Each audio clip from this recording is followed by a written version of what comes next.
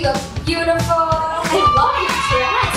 Yes! Good friends. Well, you just sit back and relax, my dear, because we prepared a beautiful show for you today. Isn't that right, ladies? It sure is. I've been waiting all day for this. I'm so excited to tell you all about our wonderful stories. But we are not just going to tell stories today.